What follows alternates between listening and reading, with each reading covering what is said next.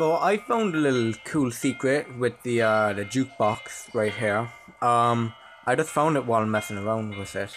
Whenever you hit it with your hat, it plays a cool little jingle. And you see there it was a bit different. Well, that's because it's actually playing a little bit of the Bowser battle theme when you fight Bowser for the first time in the Cloud Kingdom. It's actually playing that. So if you keep hitting it, it'll play the uh, little intro, which I will do right now.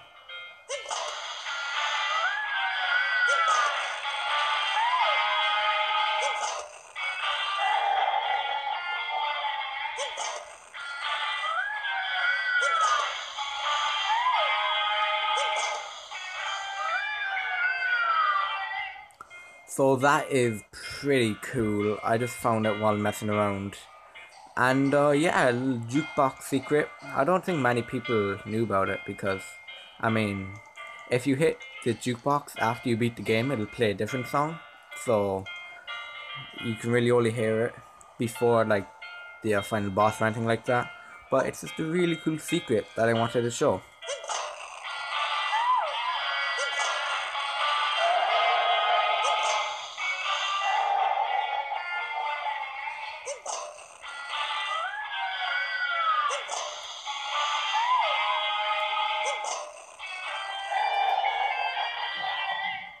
And just for comparison's sake, here is the original song, and then I'll play it on the jukebox.